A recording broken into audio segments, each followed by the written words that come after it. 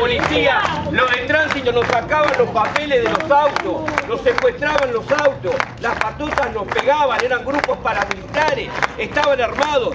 Acá hace 10 minutos había un pibe que estaba armado, le dijimos, se fue el chico y estaba hablando con los de tránsito. Siguen los mismos, siguen los mismos.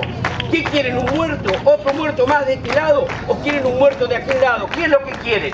¿Qué es lo que quieren? ¡Basta ya! Ya mataron a Walter Navarro.